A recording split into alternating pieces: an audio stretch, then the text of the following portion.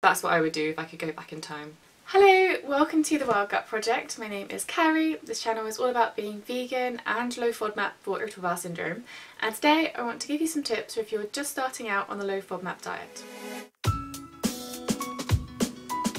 So probably my most popular video I've made on this channel is the 12 tips for if you're starting the low FODMAP diet and there are actually quite a few things I didn't mention in that video which I would like to put in this one now. So let's get going. Okay, so this one I have no idea why I didn't put it right at the beginning of the very first video I made with the tips and that is to download the Monash FODMAP app.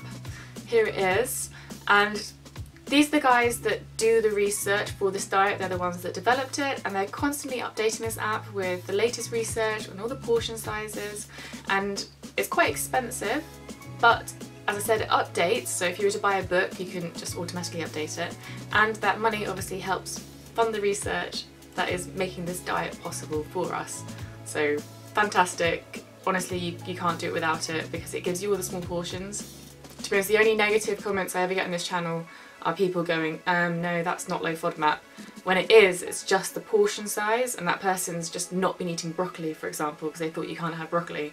Whereas actually in the app, it shows you that you can have, I think, like half a cup of broccoli if it's just the heads. It's that kind of information that you really can't get elsewhere, so please, please, please download the app.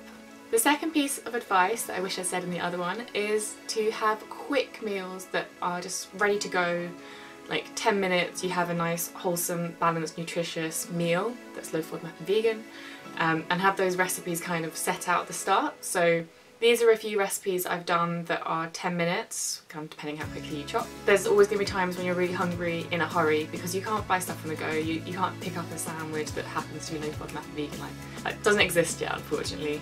So having these meals really is just, it's just essential to be honest. You can't you probably will break and give up if you don't have these meals in your repertoire. Thirdly, a big kind of mindset thing is to not expect to suddenly feel absolutely fine, perfect overnight. It's just quite a gradual process. All the FODMAPs you have been consuming kind of need to I guess work their way out, you need to adjust this new way of eating, the kind of the schedule changes a bit.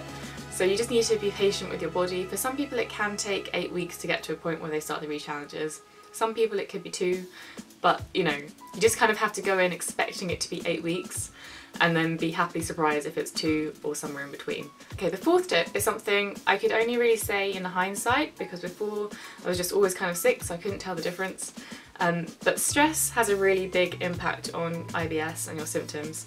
So I think if I was to do the elimination phase again, I would just use it as this kind of challenge and this set period of time where I was going to make a really big effort to look after my mental health and really go hard on the yoga and the meditation and sleeping well and avoiding very stressful things that aren't necessary.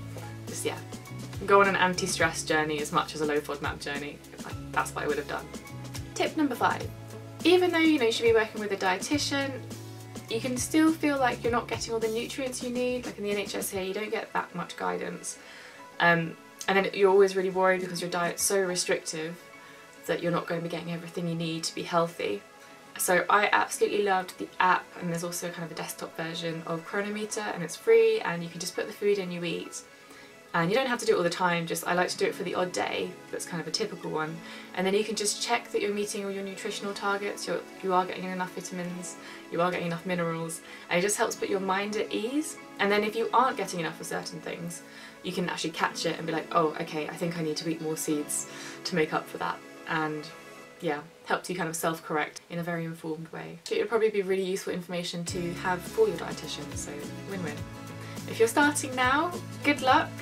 Um, you might like my low FODMAP vegan meal maker guide, that's very good for throwing together recipes in a hurry and quickly referencing portion sizes. So those are the five tips I wish I'd added on to that other video. If you have any tips that you've kind of thought up since you started the low FODMAP diet, what advice would you give to those people watching this who are starting? Please comment down below.